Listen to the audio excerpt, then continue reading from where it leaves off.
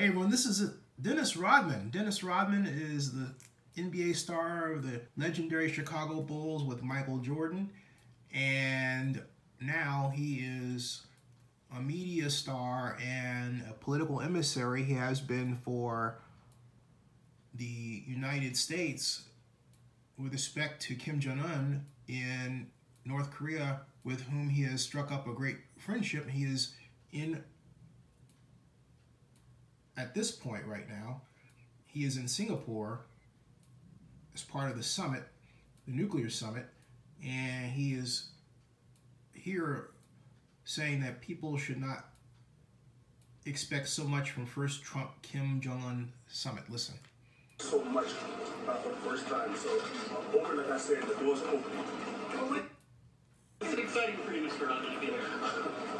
well, it's, it's exciting to be a part of it yeah, so Dennis Rodman is back in the spotlight, and I think this is an appropriate stage for him because, and I, have to say, this is this is one of the unfortunate few errors of the Obama administration that President Obama didn't take Dennis Rodman seriously for reasons I would love to ask him why I would love to ask the President Obama why that was the case. He may say I was wrong, but have had have other reasons that he perhaps can't share due to security issues, perhaps.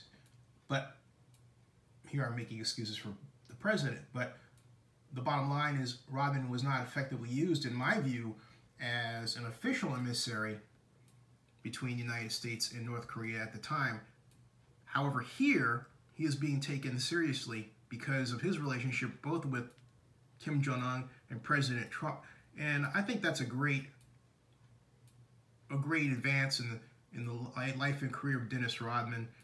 He gets to really play the role he crafted for himself, the job that he created for himself, and for the first time he's being forced to be taken seriously by the media because the president takes him seriously.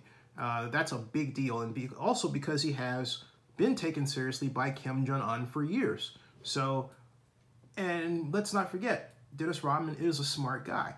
Now, you want to see other interviews with Mr. Rodman? I have them here on Zennie62 on YouTube. All you have to do is type Dennis Rodman at Zennie62 on YouTube, and you can watch my interview with him at CES in Las Vegas. Stay tuned and please subscribe to Zennie62. Thank you.